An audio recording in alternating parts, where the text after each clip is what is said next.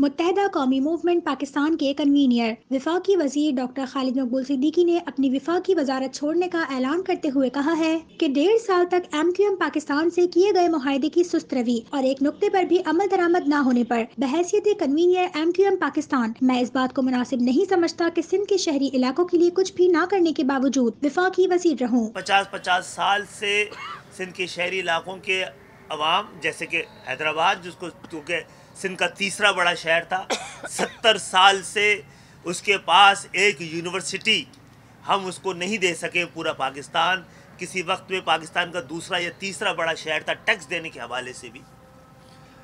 आ, उस यूनिवर्सिटी के क़्याम के हवाले से भी एक नुक्ता था कि कुछ पेशरफ हुई लेकिन वो कागज़ों की हद तक ही महदूद रही।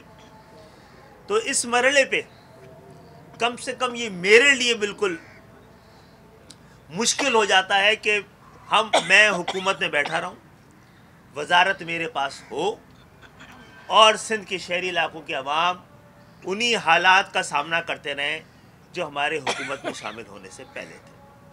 एम पाकिस्तान के आरजी मरकज बहादराबाद में प्रेस कॉन्फ्रेंस से खिताब करते हुए कहा कि उनका विफाकी वजारत से अलीहदगी का ऐलान अपनी जगह लेकिन हम हुकूमत की हिमायत जारी रखेंगे। हमने हुकूमत का साथ हुकूमत बनाने में दिया था।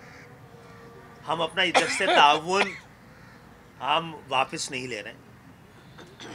और जमहूरीत के हवाले से ऐसे तमाम तो ताउन हमने जिसका के वादा किया था हुकूमत से, वो हम देते रहेंगे। लेकिन मैं ये समझता हूँ कि मेरा अब वजारत में बैठना बहुत सारे सवाल को जन्म दे रहा है। उम्मीद तो अभी भी बहुत है, यकीन आ नहीं रहा है। तो ये प्रेस कॉन्फ्रेंस करनी पड़ गई। और आ, हम इंतज़ार डेढ़ साल कोई कम दिन कम दिन तो नहीं होते हैं ना। तो डेढ़ साल तक कभी अगर बार बार बताना जाना हर बार मीटिंग में ये बताया जाए हमारे जाने से बताना पड़े कि क्या तय हुआ था। तो फिर संजीदगी पहले हम तजर्बे की कमी आ, समझते रहे।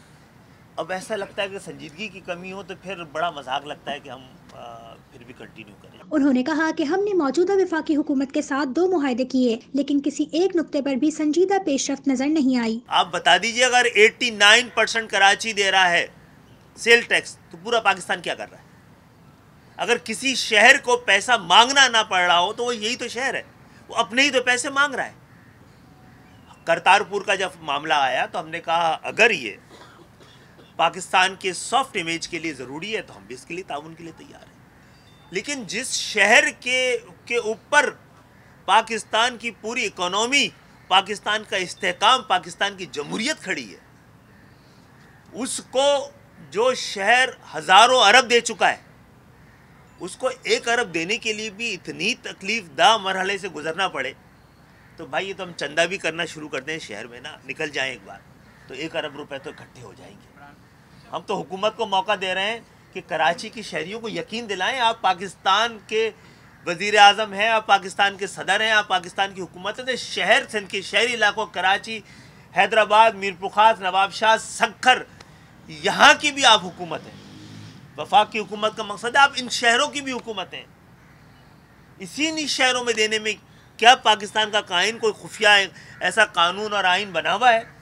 जो रोकता हो तो हमें आगे कर दिया जाए हमने ना तो वजारत कानून और इंसाफ मांगी थी ना ही जो हमने दो नाम दिए थे उसमें फ़रोग नसीम भाई का नाम शामिल था अच्छा। लेकिन आ, हमें ये बताया गया कि हुकूमत जो पाकिस्तान में पाकिस्तान एक पाकिस्तान में जमहूरीत कानून, इंसाफ और एहतसाब के अमल के लिए। उनको फ़रोग नसीम के जैसा एक वकील की ज़रूरत है। तो हमने कहा था, हुकूमत हमें क्योंकि दो वजारतें मांगी थी और उनमें से आज भी हम एक वजारत को तलब करते रहे हमारा वो वादा पूरा नहीं हुआ था।